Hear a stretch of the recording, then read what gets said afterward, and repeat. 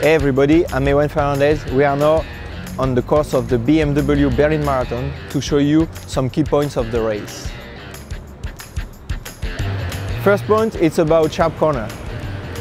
We are now in uh, Friedrichstrasse, kilometer 8 of Berlin Marathon, to show you one of the sharp corner. My advice for a sharp corner is to enter on the outside part, to be in your safety position, leaning on your inside legs and turning in the inside part of the next street. Second point, 500 meter later, we have a right corner with the right tracks in the middle.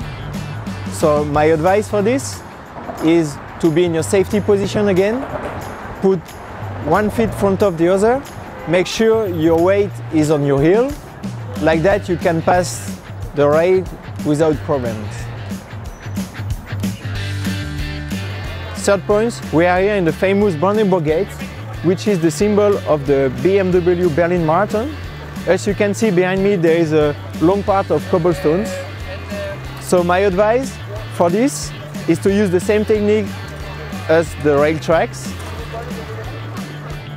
And when you feel stable, you can start skating again, but make sure you always keep your weight on your heel and then enjoy it until the finish line.